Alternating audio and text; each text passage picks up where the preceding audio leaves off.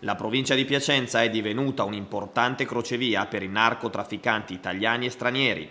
Anche le problematiche connesse allo sfruttamento della prostituzione, dell'immigrazione clandestina e della riduzione in schiavitù hanno raggiunto livelli preoccupanti. Di rilievo è la presenza della criminalità organizzata.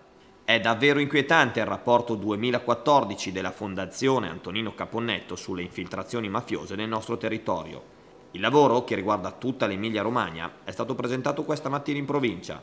A Piacenza, secondo questa indagine, è sempre più forte radicata la presenza dell'andrangheta, non meno rilevante quella di Cosa Nostra e della Camorra. In tutta Italia, in tutta l'Emilia-Romagna, in tutta Europa e nell'area del Mediterraneo non esistono più isole felici.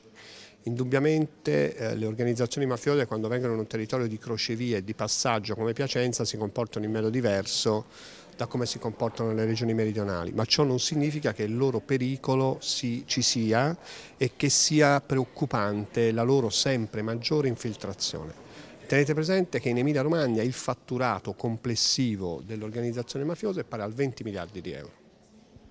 Si parla di mafia che si inserisce soprattutto sfruttando la crisi economica in territori come il nostro. Sicuramente questo è uno dei fattori, ma non solo e non è nemmeno l'unico. Si inserisce con la crisi economica ma si tende a inserirsi a prescindere, anche perché in determinati contesti le persone su questi territori non sono abituate a riconoscerle e allora non c'è niente di meglio a volte che non riconoscerli per poter eh, lasciarli liberi di fare noi ovviamente non dobbiamo lasciarli liberi di fare. In platea i ragazzi del liceo Colombini con cui la Fondazione Caponnetto e l'amministrazione provinciale hanno effettuato un percorso sulla legalità.